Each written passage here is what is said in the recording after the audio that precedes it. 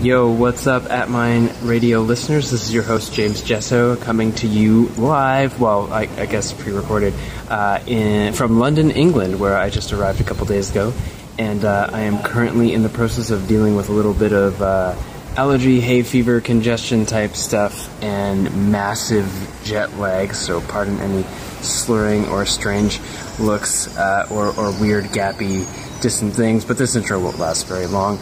It's just to basically let you know that hey, I'm here, and the upcoming episode is with Sebastian Job. And before that starts, that I'm in London. Okay, right. I said that jet lag, weird thought patterns, weird speaking patterns. Anyways, so while I'm in London, I'm going to be giving a presentation called a Visionary Epigenetics. And if you are in London, uh, head to jameswjesso.com uh, forward slash events and pick up tickets and come check me out. It's my first time here, and I'm really excited. And uh, it's a brand new workshop that I haven't shared with anybody, and I'm breaking it in the London community. So come check that out.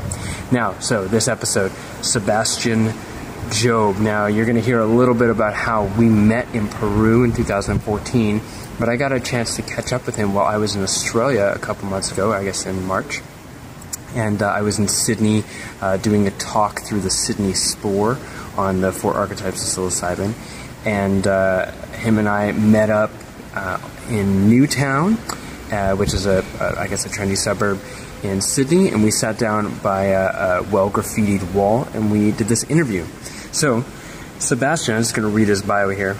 Sebastian Job received his PhD in cultural anthropology from the University of Sydney for a thesis on the psychic life of Russian racist nationalism.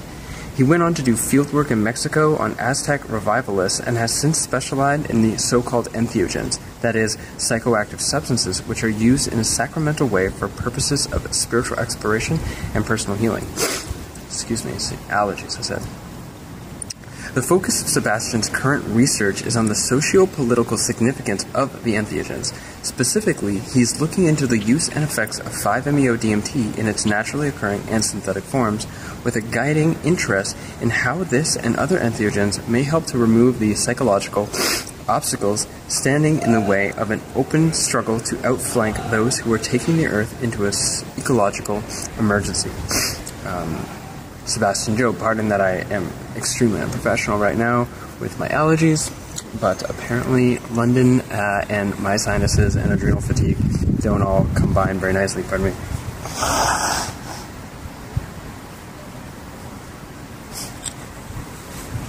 Anyways, thanks uh, thanks for listening to this little intro or watching it on YouTube, which you might actually be doing because this is on YouTube. But the interview isn't in video, but I got a cool picture of Sebastian and I, so you should check it out anyways. And uh, I hope you enjoyed this episode. Stick around at the end because I'm going to offer you an interesting announcement that you may or may not be already familiar with. Enjoy. As you listen, keep in mind that though this podcast features medical and other professionals and regularly speaks on the topic of psychoactive substances in a positive light, nothing heard here should ever be taken as medical advice or as encouragement to consume any of the substances mentioned, especially the ones that are blatantly illegal in your country of residence. Listen critically and always check in with yourself before acting based on anything you hear or read on the internet.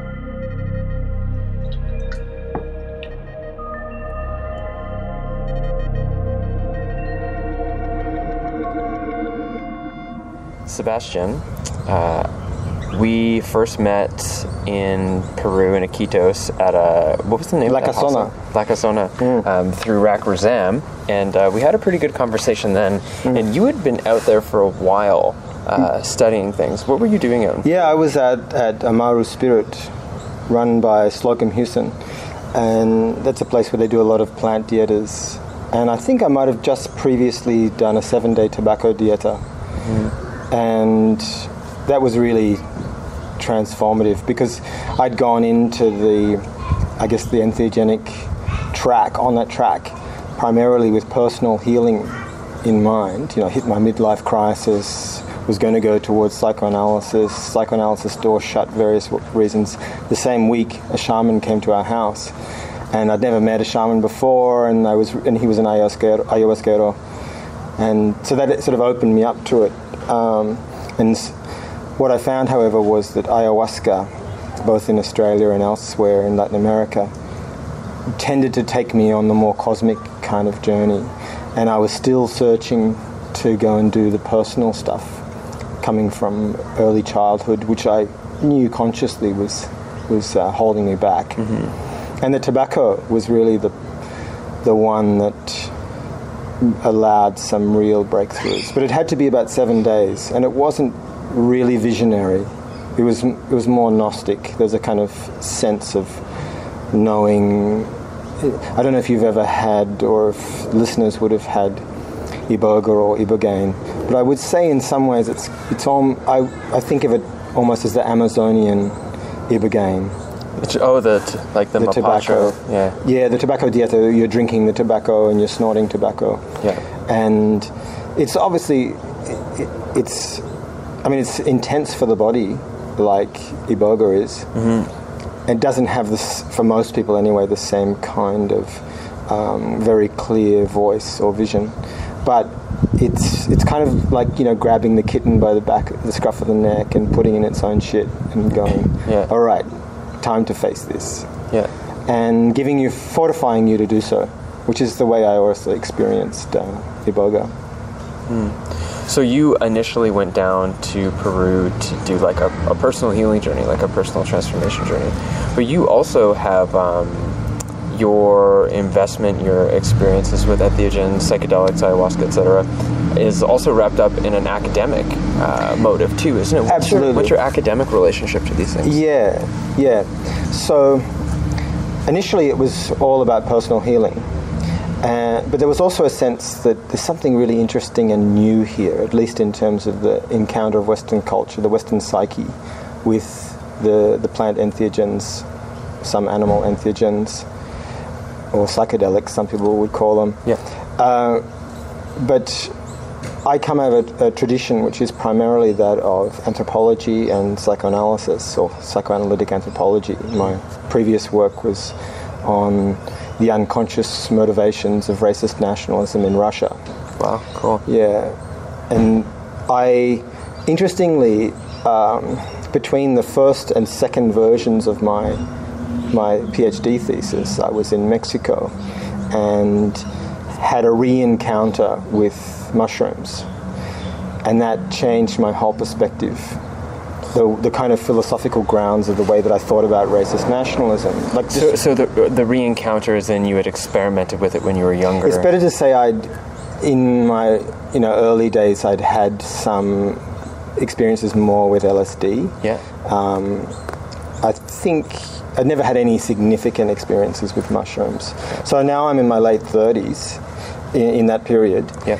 And the again, I wasn't looking for anything in particular in relationship to my PhD, but the the mushroom, like I was there in the cloud forests of southern Mexico, hmm. and I'm thinking to myself, you know, I've talked with a lot of really interesting people, and they've challenged me in incredible ways, but I'm never going to be as challenged as I am by this mushroom intellectually. Yeah, you know? yeah, yeah. although I haven't really followed the mushroom path, I, again, um, I've always want, I've always been quite um, happy in this. Not happy. I've been interested in cultivating my sobriety as well. So I tend to have relatively infrequent visits to what some people call hyperspace.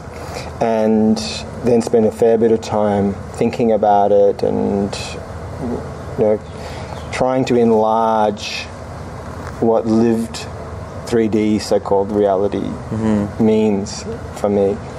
Anyway, just to get back to your question about what it is that I um, have tried to pursue intellectually, I think the key thing that I got onto early on was the kind of messianic promise, especially of an ecological kind, around ayahuasca. Mm-hmm. This sort of idea that it's coming at the nick of time. You know, it's the sort of planet's immune system response, which you know we which is acting on the very agent that is humanity, or capitalist technological humanity, which is so destructive now. And my background is very heavily in revolutionary politics uh, and radical philosophy. I suppose those are the two things that have have really uh, structured how I've gone about living. And so I approach the plants very much in terms of okay, well, people have been hitting their head against various brick walls, trying to work out how we can um, have better human relations, less destructive for each other and less destructive for the world, for the planet. Here's something else that people speak of as a teacher. And yet, what I also saw was that, well, I tell you what, I got to Iquitos, which, you know, in, in the upper Amazon, and it's kind of known as central, you know, ayahuasca central. Right, Yeah, and I went to a shamanism conference there, and I walked into the room, and I was there about 10 minutes, and I thought, it was a kind of depressive, depressive mood came over me. I thought, these people are not going to save the world.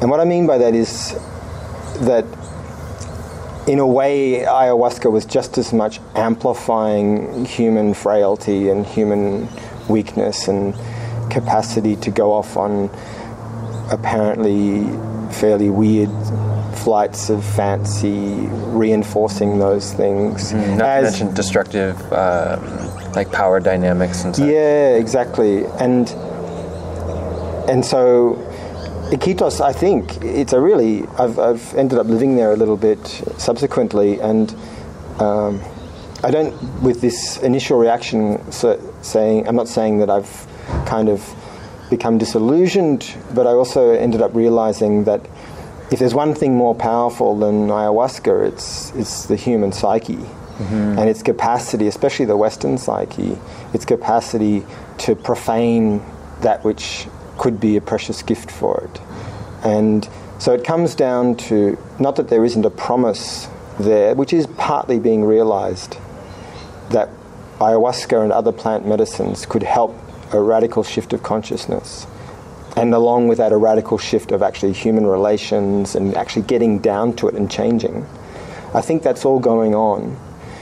Um, but a lot of it depends on the intelligence of our response and how, not, as, not just as individuals, but even how we speak about it and how we ritualize it. Like the, exactly the set and setting that we set up.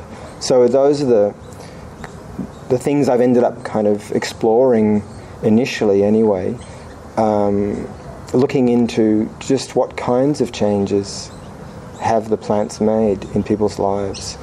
And one of the things that emerges pretty clearly is that if you kind of go looking at for the plants as agents for social transformation, um, in the hope that it'll, in a sense, give a kind of upgrade for people, you see that they actually have to spend quite a lot of time down there in the latrine, really, of their own lives, mm-hmm. working through the stuff.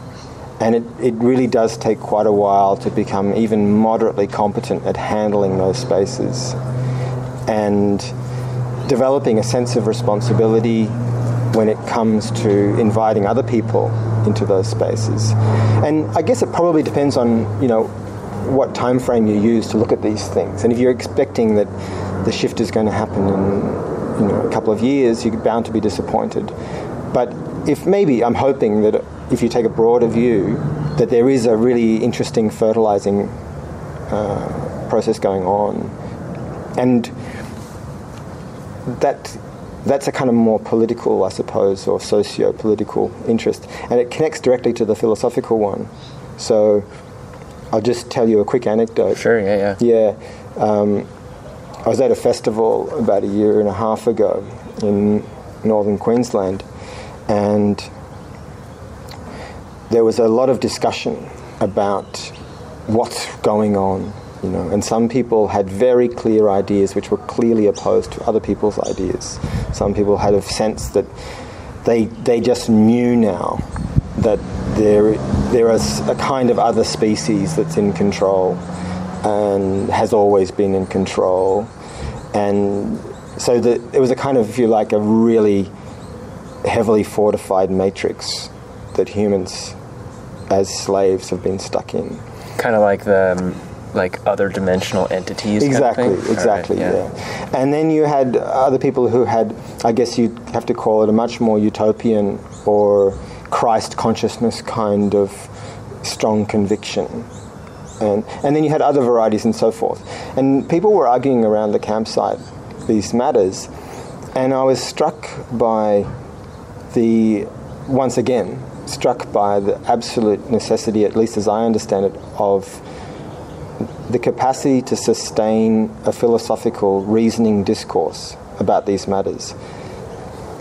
What I mean by that is philosophy here as the a kind of trust that words can express at least certain dimensions of what's really important, and they are the bridge where we kind of reach out to the other person at a certain level, not so much exactly at a heart level, but we, we keep on re-establishing this bridge to each other as people who are capable of rational self-reflection, of differentiating themselves from some really strong conviction on the basis that actually maybe there are some contradictions there. And if you don't have that, then you, you which is to say, philosophy as a kind of way of transcending any given worldview, any given set of convictions, in in a kind of common relationship to an ideal of truth or an ideal of accurately understanding reality, then you have a kind of reproduction of out of this experience that you might hope would give people a new commonality, a new way of going forward. Actually, what you just get is a new kind of epistemic tribalism. People stuck.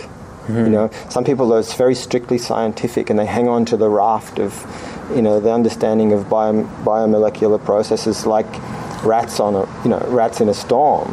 Um, and other people just think, well, that totally misses the point. And and I see philosophy or the philosophical urge as an attempt to try and do justice to any given perspective, but also try and find the, find where the limitations are and where they, where we might de- develop a kind of common understanding. Hmm.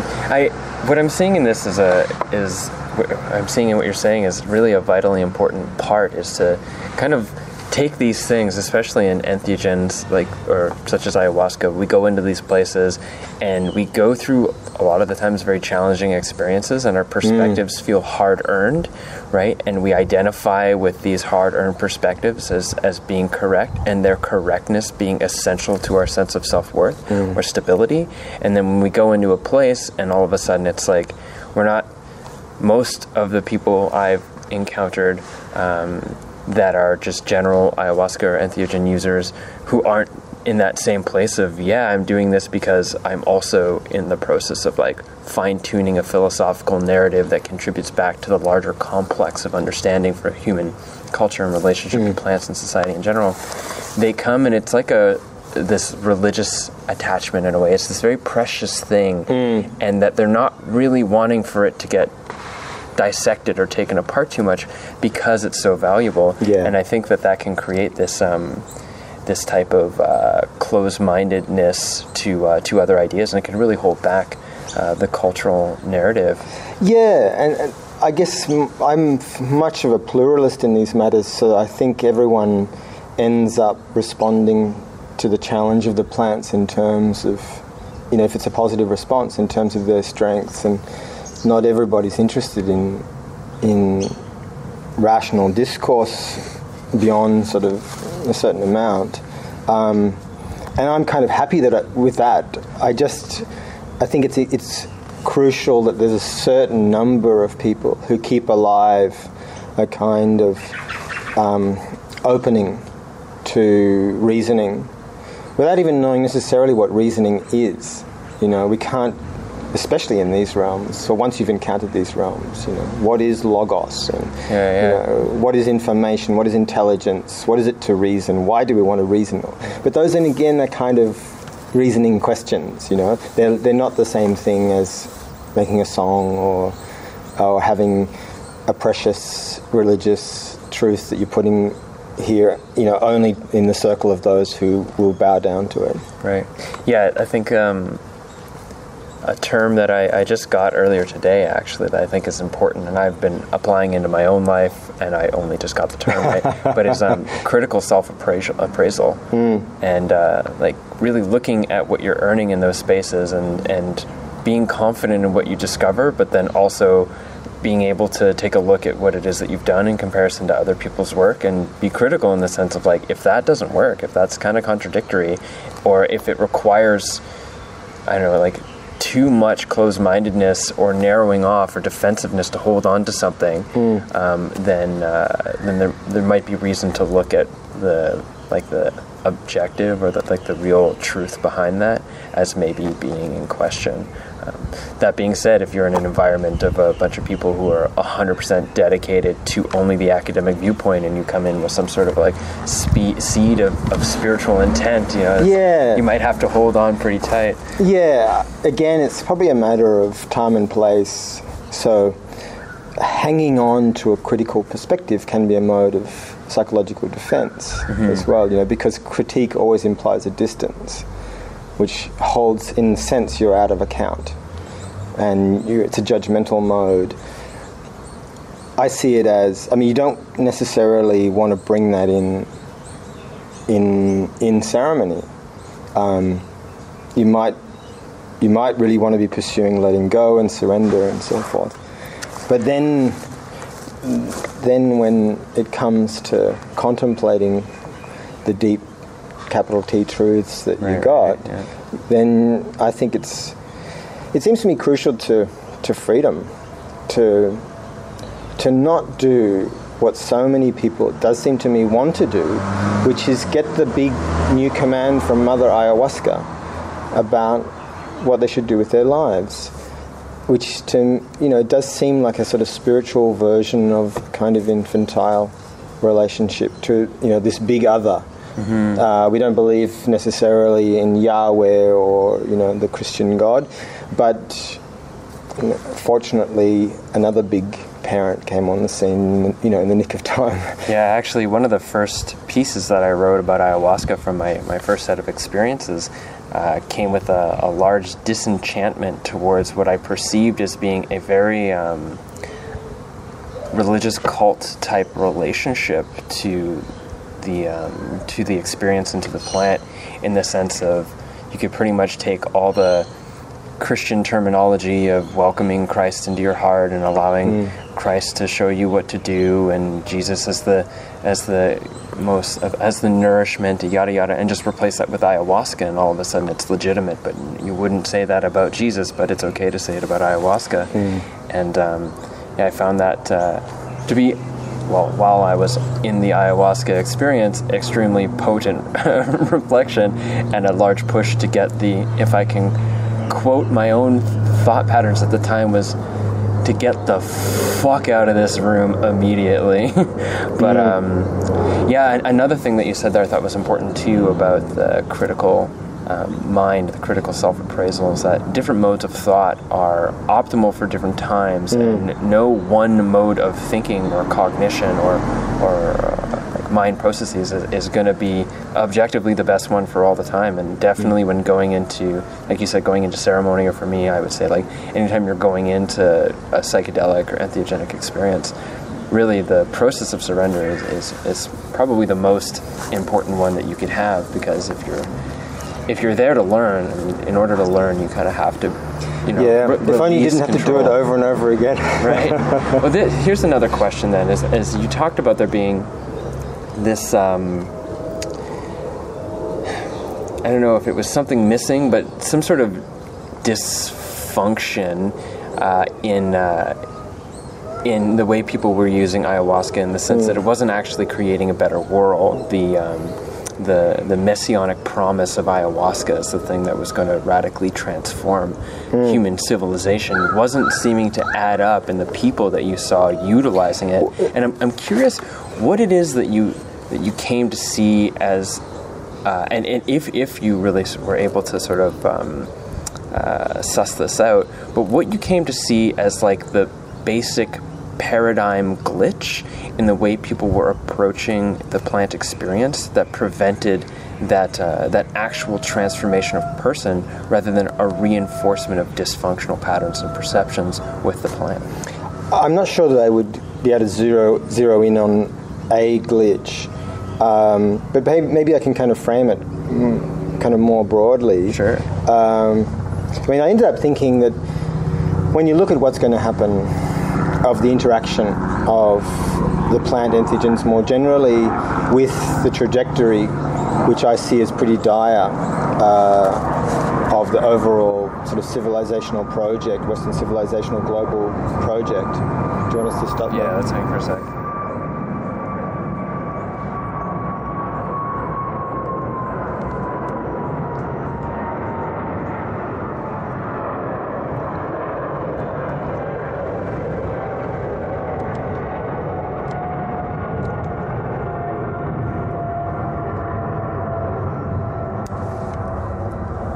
Okay, maybe we can just st- start over there. So I asked you about whether or not you saw any like fundamental glitch in people's paradigms in relationship to the plants, or even to the experience that um, blocked real transformational growth, and you were going to broaden it up for us. Yeah, I mean, I definitely don't want to say that that transformation is not going on. I think it definitely is for many people. Uh, but if you look at the kind of current stage that we're in, it seems to me that the plant entheogens are not only contributing to healthy growth in any in an obvious way, they're also very much likely to amplify the chaos, the madness, literally. And maybe this is again a sort of necessary stage. I, I was saying before that I think that the the likely trajectory that we're on uh, civilizationally, the Western come global civilization, is towards some kind of crunch. Uh, there's a lot of vectors that are heading in that direction. And I think that if you're thinking about glitches, one of the things that perhaps hasn't come on the agenda as strongly as it might have is how, as a society or, or as a militant subculture, let's put it that way, given we can't expect society as a whole, how, as a, as a militant subculture, can we best address the kind of historical problems that have landed on our shoulders, mm-hmm. not just our own personal ones, and or not just sort of seeing an additive process of more and more relatively psychologically healthy people. Well, of course, that's a good thing, Yeah. but it doesn't necessarily address the the the big issues. Um, Yeah, it's planes. At least there's no trains. planes, trains, whatever it is. Especially on a cloudy day. Do you want to just do the question again? No, no, just continue where you left You off. can cut off. You can do. Yeah, you can yeah, I edit can do that. So look, I, I'll tell you one, one kind of, I guess, uh, way of thinking about these things that I have felt could be on the agenda, and the name I give for that is stoned cyborg theory.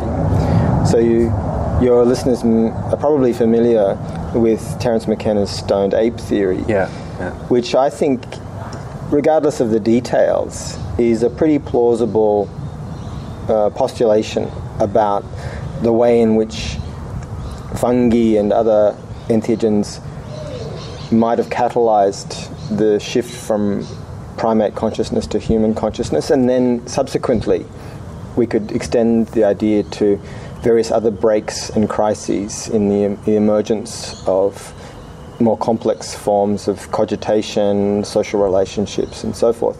And Stoned cyborg theory is a kind of attempt to sort of throw that out into the future because what stoned ape theory said is there's there's a selective mechanism going on. You know, if the if the if some kind of culture of use is still retrievable for us, and it obviously has been in the last decades, it's because it was selected for in some way. It didn't get selected out. Let's put it that way. Right. If we're headed towards really tough times, ecologically, socially, in terms of inequalities and so forth, with some of these things increasingly uh, hitting the fan, to me, there's a really significant question which we ought to be posing to ourselves, and that is okay, it may be that at an individual level and in small communities, the plants really do help us to become healthier, more loving, um, better in some ways human beings, maybe. But that doesn't mean that we're going to be able to carry that through to for future generations. So the question would be under what conditions, especially if the social conditions conditions are difficult, the ecological conditions are difficult, under what conditions would entheogenic use and knowledge continue to be socially selected for? And what choices have we got um, in the way that we use them, in the way that we speak about them, to aid the the ongoing um, the continuity and increase of the culture of use of these substances, if we indeed think that they are really vital mm-hmm. to human self-invention in in a context of ecocide. So you, you, you bring up this question, which is a good one to contemplate, and I'm curious what your current perspective is on the answer to that question. Like, how do you how do you feel we should be going about looking at these things? Where do they fit? How do we talk about them? Yeah. yeah. Well, partly I think it's it's shift. Uh, we need a shift of demographics. So we need this, what Hegel called the silent weaving of the spirit that goes on underneath the edifice of a tottering form of life, you know. We need it so that, and I, am sure it's happening, so that individual groups of psychologists, in, you know, groups of philosophers, groups of engineers start having a practice. You know, not just as individuals going to Iquitos, but having circles which aren't either just subculturally ghettoized in a, what is largely white middle class, um, new age-ish yeah. kind of demographic. We we have to help, I think, the the plants to make inroads and become useful for people beyond individual healing to addressing specific problems that occur within a particular disciplinary area. Uh, you know, if you are say, involved in public housing or something, can you know ideally you'd get be able to get together with other public housing militants and thinkers commune work through some of your personal stuff but also have some other stuff that comes on the agenda right uh, i mean you can imagine that mm, that going out in various ways kind of it, it, brings to me the image of um, of of like older tribal societies having their uh, having their going into council more so than going into ceremony. They're going into council. Right. Yeah, and it makes me think about. I believe it's Graham Hancock that made a comment that he felt like um, any political officials should be required to sit in 10 ceremonies before they can take office. So the idea of having our uh, leaders coming together and say, uh, you know, drinking ayahuasca or doing mushroom ceremony together to really go into the thick of things and then come out and be like, so how you know what have you learned here about who we are and what informs our perspectives to this particular issue and how can we now come together as a group to form something that's more reflective of benefit to the whole you know yeah. short and long term I, I guess the way i would see that is more in terms of the observation that's often been made that as you head towards a revolutionary situation part of the elite splits off and, and joins the opposition. Mm-hmm. So rather than a kind of Huxley esque vision that the elite should become increasingly enlightened. Wait, wait, like Huxley near the end of his life, or Huxley in Brave New World? Huxley near the end of his life. Yeah, like the island. Yeah, yeah. Exactly. This sort of idea that rather than the countercultural rabble taking up these the acid and the mescaline. We, what we need is the most thoughtful people to steer the ship of the of the state better. And yeah, maybe there was a chance back then. I think that chance is gone. We've got severe rotting at the head, Yeah. you know, Yeah, yeah. in most, most countries that you look at. And I take that process pretty seriously, you know. Psychologically, these things are in some ways non-specific amplifiers. So if you have hypocrites like Obama or psychopaths like Trump or Tony Abbott um, taking ayahuasca, of course you may get radical transformation and going and a really con- confrontation with the self and a decision to radically change track and in a sense go against what they've dedicated their lives to but much more likely you're you're going to get the a kind of- reinforcement of, of like shitty behaviors based on some sort of metaphysical abstracted May, yeah, may, justification. yeah. It, it, it, they might even sort of come to embody a kind of White House brujeria, you know. Or something Yeah, right. like.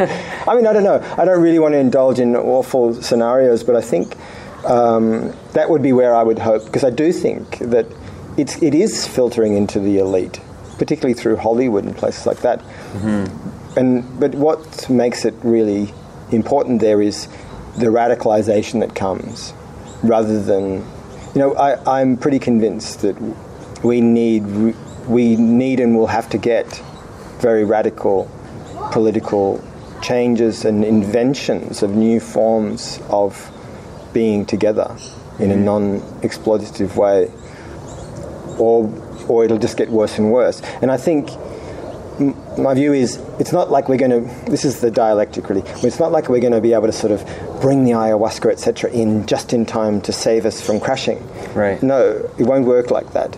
The crash will happen along, hopefully, you know, ayahuasca, etc., and, and and many other forms of social invention, creativity, imagination are happening as well.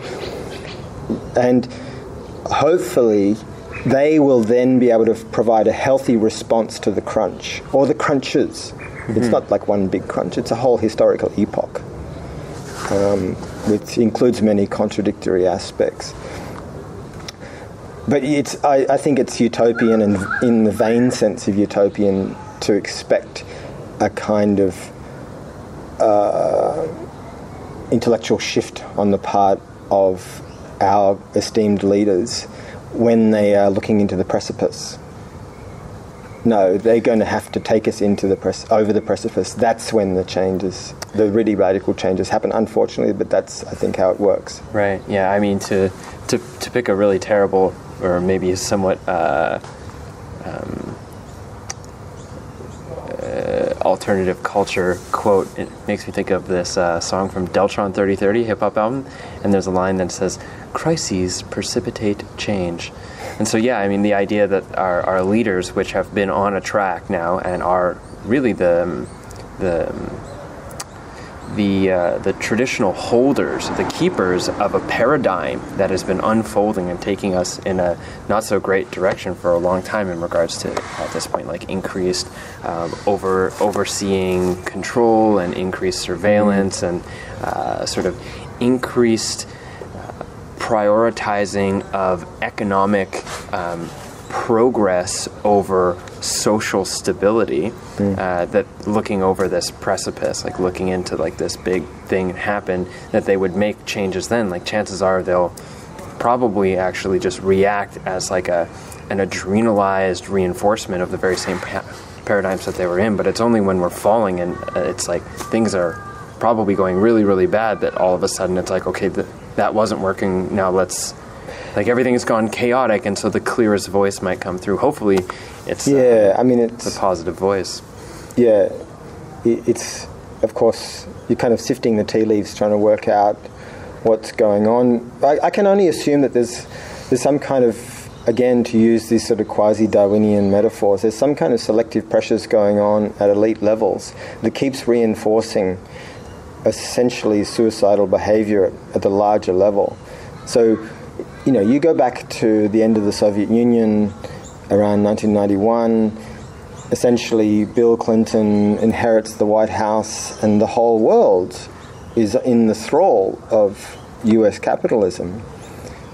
China is heading in that direction as well. There's only a few little sort of tin pot holdouts, some better than others. And it's squandered. The, the, the possibility for making a better a world is pretty much squandered. So you just have, you know, the kind of massive inequality that we've got now. It, it was the seeds for that were were put there by Reagan, Thatcher, Clinton, etc. Uh, and and for the massive despoliation of, of the the planet, you know, the, nat- the natural ecology. Um, so any of that, so Stein, stoned cyborg theory is more like a place name for, or like a kind of invitation for those who are already interested in the plants to to have something else that might be worthwhile to think about.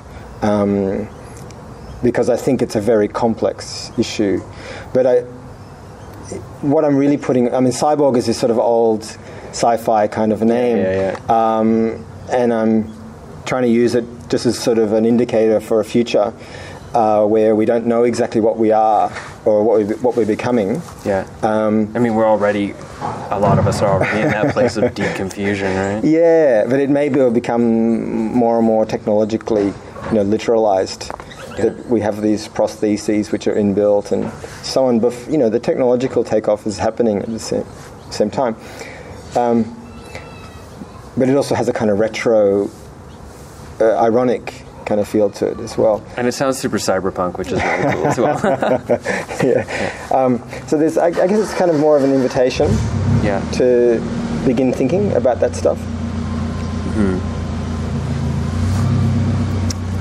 So maybe we could uh, find find a closing closing comment here. Uh, I, I I feel like what I one of some of the central themes that I'm getting from this is is really a question around um, not just you know what does entheogenic work, what do the plants mean to you, but how does this practice um, sit socially and culturally right now in regards to what type of world are we creating for uh, for the people who will step into it after us, based on how we're using these things and talking about these things, and what kind of um, waves we're creating in the cultures around them, and uh, asking yourself, like for me, I, I often focus a lot on the the personal work of it, and then I also get into the interpersonal stuff and the transpersonal aspects.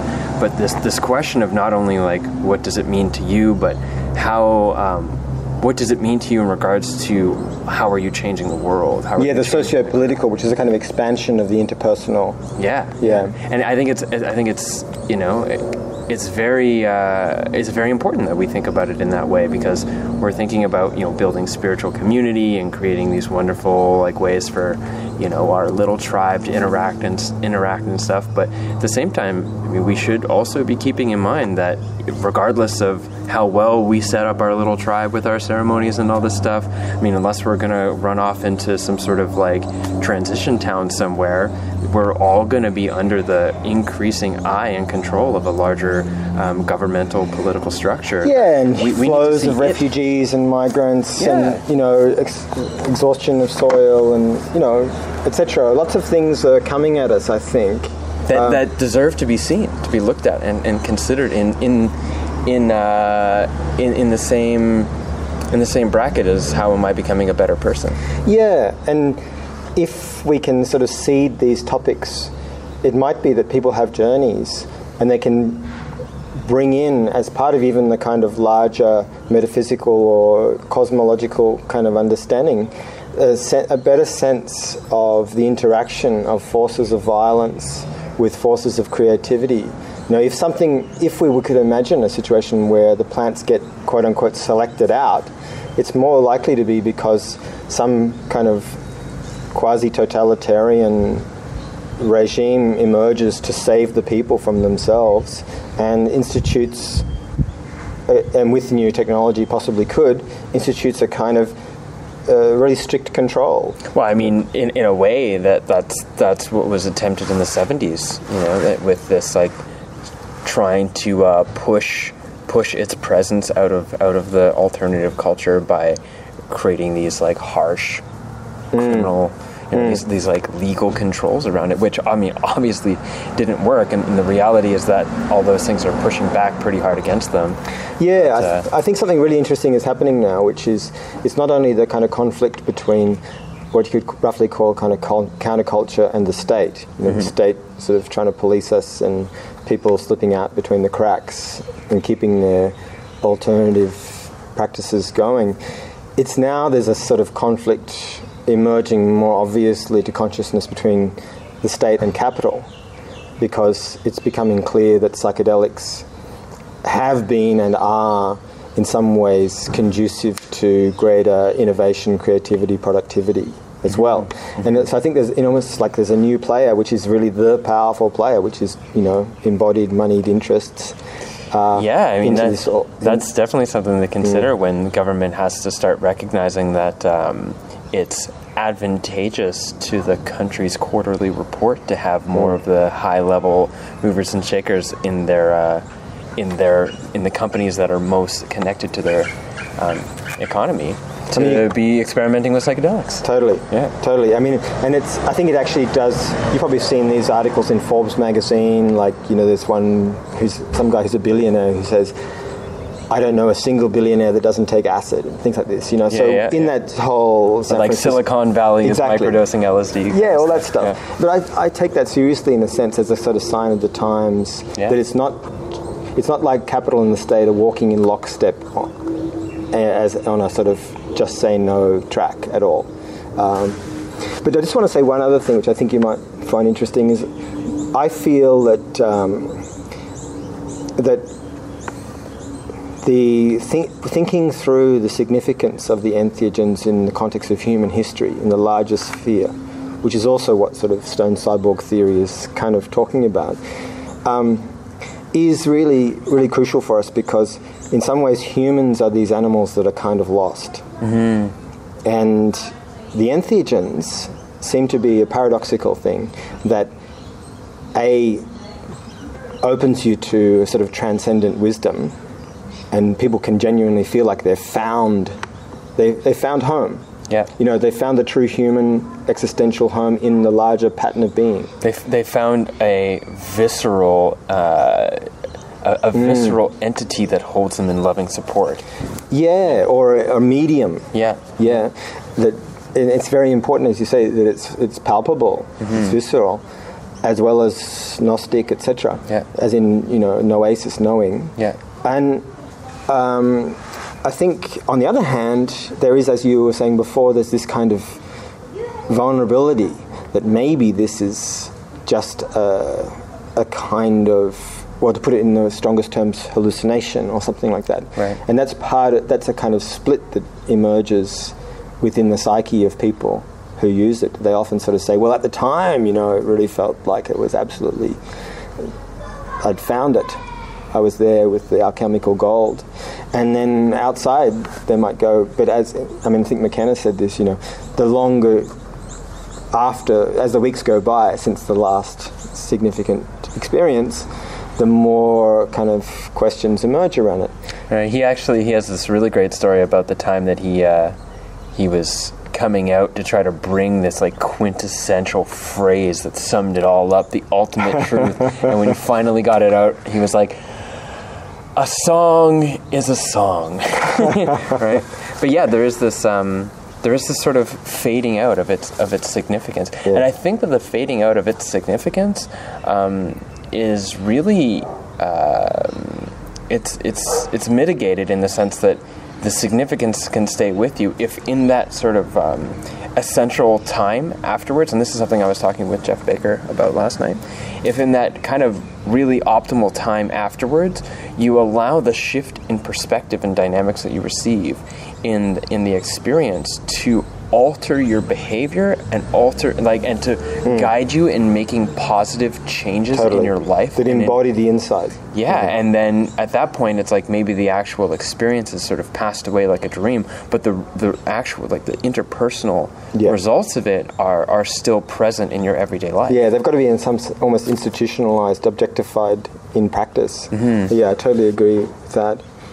Um, but just to finish off, Right. I guess um, I should mention that the kind of key area that I've been looking into recently is the toad venom, the 5-MeO bufotenine containing toad venom, and I've ended up focusing on 5-MeO DMT because it seems to hold the, the promise to the greatest extent that I've come across of a kind of encounter with something that that might legitimately um, count as a sort of as the center, as a real anchorage, and I've then attempted to begin to think about when did this come into human history? What were the repercussions?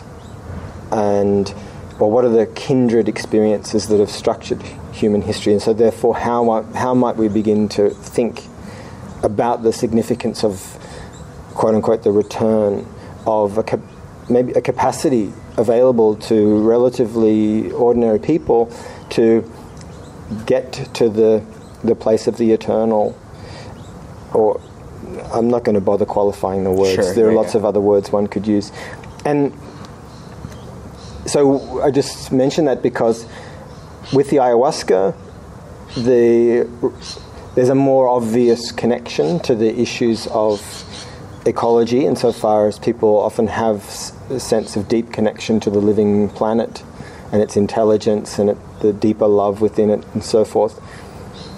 And yet, that's a kind of movable feast Yeah. Whereas the 5MEO experience seems to be a source experience beyond uh, embodiment and yet extremely intense, powerful, potentially very life changing.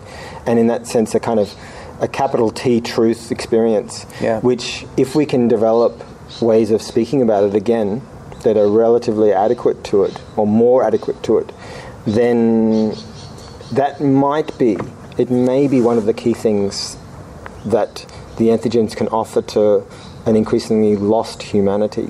You know, okay, we're in the crisis, but look, this this is this is the quintessential human experience, maybe, to go through the, the eye of this. And at at least the least you can say is, once you've gone through the eye of that, it's all different. Hello again. I hope you enjoyed that episode with Sebastian Job. Uh, he is like, yeah, very very interesting guy. Uh, now, this last bit you're probably familiar with, but uh, I want to let you know that this podcast is funded by Patreon. Patreon is a, it's not really a subscription service or a crowdfunding service uh, in the sense that it's kind of both. So if you like what the podcast is all about, you can say, hey, here's a dollar or two dollars or three dollars per episode that I'd like to pay to you. You control how often you pay um, and how much you pay. And so it's totally up to you, and it is a direct line of support between yourself, the listener, and myself, the podcast creator, which helps keep this podcast going, helps me get around to uh, meet different people, and uh, will, once I'm landed back uh, in, uh, in Canada after this worldwide tour, help me bring the production value of the podcast to be much, much higher, which is a, a primary goal set for me. Uh, in the meantime, enjoy the uh, single episodes that are coming out now once every two weeks, um, sometimes a little bit more sparse, uh, and uh, enjoy it for free. If you don't want to give to Patreon, that's totally cool. You can like it, you can share it, you can comment on it, you can tell a friend. That goes a really long way. And like I said, you could also support it on Patreon. Thanks again, and take care.